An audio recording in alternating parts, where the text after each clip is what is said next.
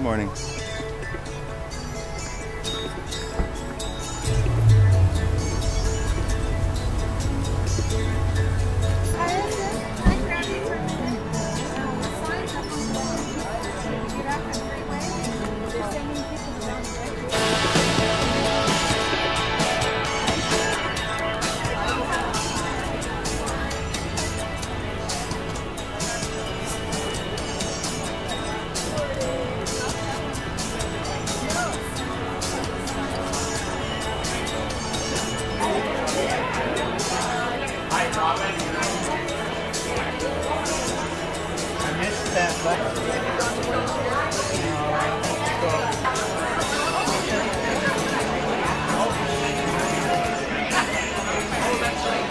松。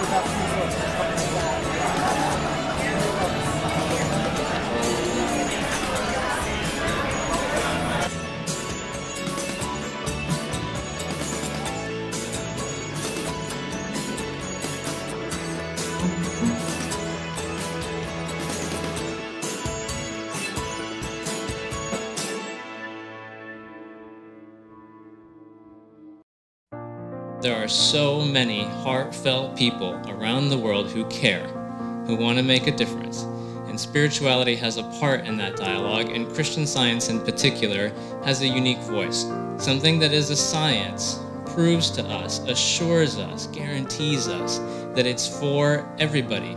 It is universal, it is consistent, it is repeatable. Something that is a science doesn't exist 2,000 years ago and not today. It is either a fact or it is not a fact. If the love that this guy, Christ Jesus, lived is real, then it is true about each one of us, and there is nothing we can do to change it. Christ, then, is more than just a title of a guy, a name of a man. Christ is a power. Christ is that divineliness, that divine truth, that divine love that was so clearly expressed and known and felt and proved by this guy, Jesus. Prayer can mean a lot of different things to a lot of different people. And it rightly should, because prayer, at least in part to me, is about the infinite, about tuning in, connecting with, with God. I don't know any other organization on the planet that could be called and immediately come to the aid of somebody on the other side of the world. We are finding the most graphic demonstrations to date of the power of the mind to affect the body. So, if this is about a love so deep that it sees that, that it works to understand that and to prove that, then people are needed. People are needed not to just say, I love the idea of it, but to work at it, to understand it, and, and to strive to prove it themselves. He told his disciples constantly, Go out and preach the gospel and prove it. That is, go out and tell people the good news and prove it. Don't just tell them it, prove it. Whatever holds human thought in line with unselfed love receives directly the divine power. But is that what prayer is meant to be? Coming back to what we talked about before, is it just a coping mechanism? Is it just a way of feeling better about stuff? Or does it have a real effect?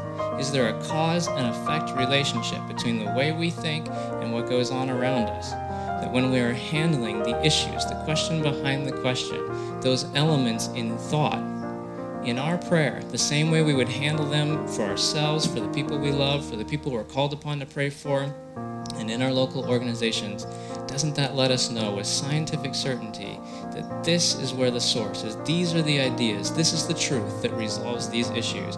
And that whether there's extra zeros behind it or not is not relevant to the equation. Broadview is an organization. We've come here today to support, to value, to recognize, and to hear about the good works going on through this organization and what it does for our community. And the kind of stuff that happens at an organization, organization like Broadview is possible because of the people that are here working every day in all their different you know aspects and walks of what their work is as well as from the broader community that makes it happen bringing spirituality to the global dialogue recognizing the kingdom of heaven at hand and doing something about it proving it there is so much good at hand right here and now as a part of the kingdom of heaven the science of christ shows us the way to understand it, to feel it, to prove it, to make a difference in the world. But it's also in that process essential that we see that this is for everybody. that it is about, again, the kingdom of heaven. There's no division, and there can't be, or our sense of God is too small. So we're here together today to recognize that bigness, to make that commitment, to support each other in the constant commitment that it takes, in the universality of what this is about, and to work together.